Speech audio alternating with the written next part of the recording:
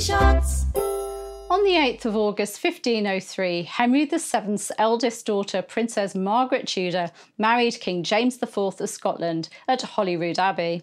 The couple had been married by proxy on the 15th of January 1503 with Patrick Hepburn, the Earl of Bothwell and Lord High Admiral of Scotland standing in for James. Bothwell was the great-grandfather of James Hepburn, 4th Earl of Bothwell, husband of Mary Queen of Scots. Margaret was just 13 years old and James was 30, and their marriage had been arranged by the 1502 Treaty of Perpetual Peace between England and Scotland. Margaret had six children by James before her husband died at the Battle of Flodden in September 1513. However, only one survived infancy, and he became King James V of Scotland. Tudor History Shorts.